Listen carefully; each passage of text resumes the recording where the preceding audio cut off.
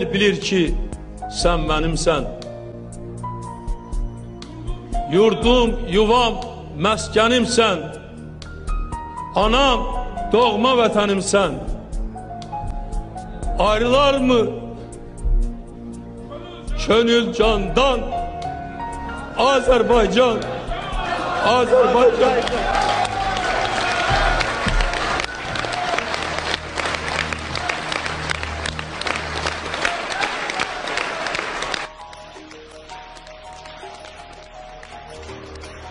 Dekabrın 12-si xalqımızın ümumi lideri Heydər Əliyevin anım günü.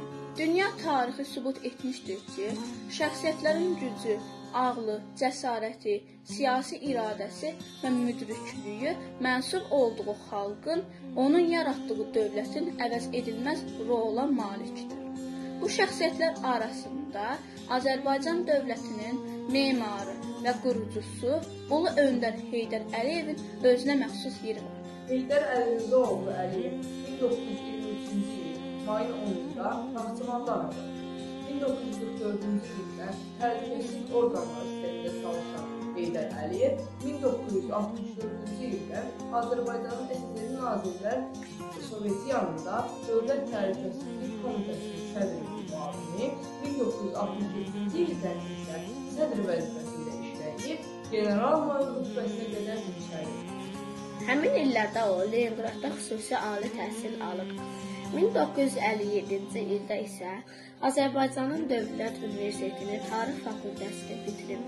Azərbaycanın SSR Kommunist e, Partiyası Mərkəzi Komitəsinin 1969-cu il iyulda plenumda Heydər Əliyevin Azərbaycan SSR Kommunist Partiyası Mərkəzi Komitəsinin birinci katibi seçilib. 1982-ci ilin dekabrında Sovet İttifaqı Kommunist Partiyasının Mərkəzi Komitəsi siyasi bürosunun üzvü kimi seçilən Heydər Əliyev SSR Nazirlər Sovet sədrinin birinci müavini kimi təyin olunub və SSR rəhbərlərindən biri olmuşdur. Heydər Əliyev 1990-cı ilin 20 yanvarında Sovet başçılarının Bakıda törətdiyi qanlı faciə ilə əlaqədar ertəsi gün Azərbaycanın Moskvadakı nümayəndələr bəyanatla çıxış edərək Azərbaycan xalqına qarşı törədilmiş cinayətin təşkilatçıları və icraçılarının cəzalandırılmasını tələb edir. O Dağlıq Qarabağda, Qarabağda yaranmış kəskin münaqişəli vəziyyətlə bağlı SSR rəhbərinin ikiyüzlü siyasətinə etiraz etməli olaraq əlaməti olaraq 1991-ci il iyulunda Sovet İttifaqı Kommunist Partiyasının sıralarını tərk etdi. 1990-cı ilin iyulunda Azərbaycana qayıdan Heydər Əliyev ilk dəfə Bakıda, sonra isə Naxçıvanda yaşamışdı.